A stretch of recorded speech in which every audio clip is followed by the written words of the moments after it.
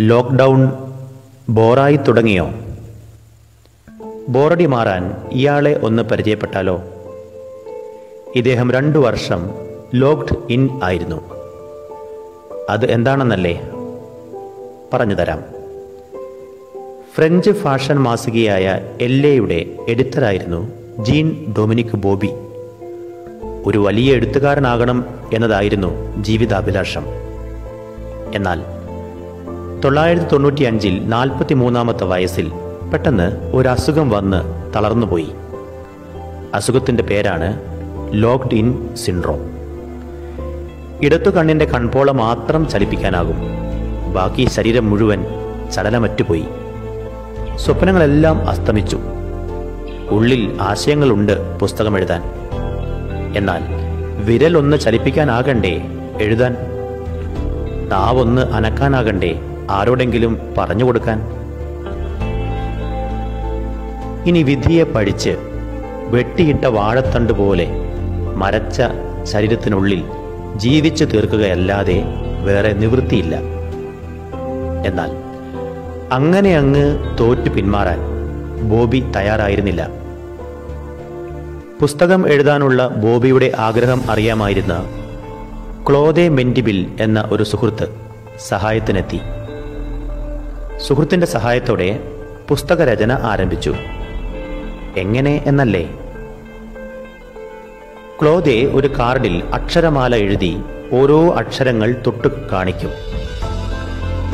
എഴുതേണ്ട വാക്കിലെ അക്ഷരമെത്തുമ്പോൾ ബോബി ചലിപ്പിക്കാനാവുന്ന ഇടത്ത് കണ്ണ് ചിമ്മി സൂചന നൽകും.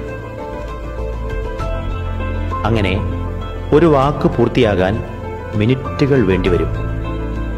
എന്നാൽ ബോബിയുടെ നിശ്ചയദാർഢ്യവും ക്ലോദയുടെ ക്ഷമയും ചേർന്നപ്പോൾ പുസ്തകം പതിയെ ഓരോ പേജുകൾ പിന്നിട്ട് തുടങ്ങി.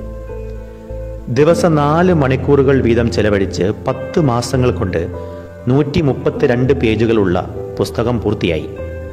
അപ്പോഴേക്കും ബോബിക്ക് ഏതാണ്ട് രണ്ട് ലക്ഷം തവണ കണ്ണ് ചിമ്മി കാണിക്കേണ്ടി വന്നു അത്രേ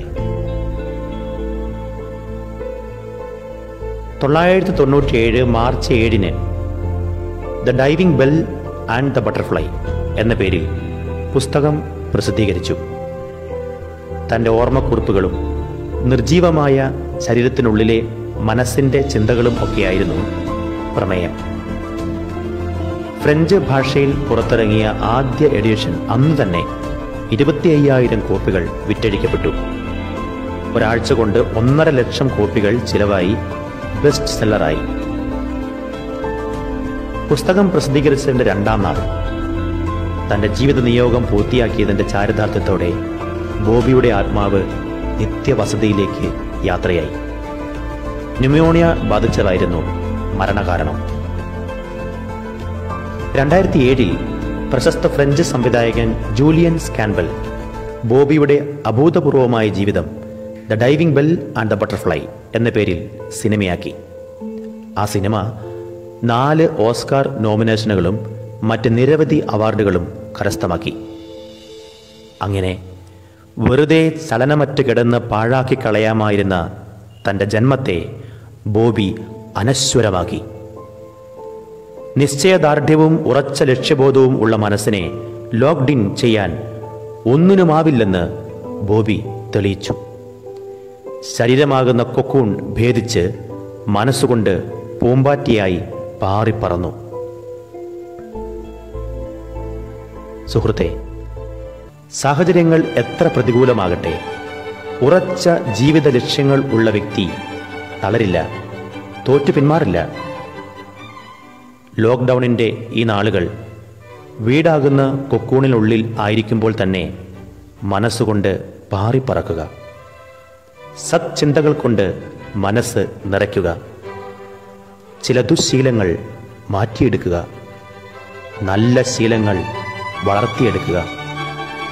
അസാധ്യമെന്ന് ഇന്നോളം കരുതിയ ചിലത് സാധ്യമാക്കുക. പൂമ്പാറ്റയായി രൂപാന്തരപ്പെടുക.